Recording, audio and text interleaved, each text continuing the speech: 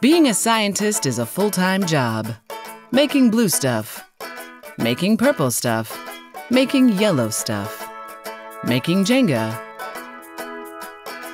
apples. Every scientist knows a lab can be a lonely place. But now there's an app for lonely scientists just like you. Introducing Scienkissed, the app designed by scientists for scientists.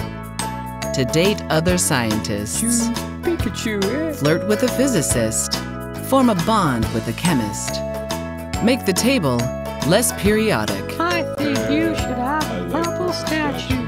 Oh, wow, shrimp boat. Thank you, bitch. Scienkissed, put the action in reaction.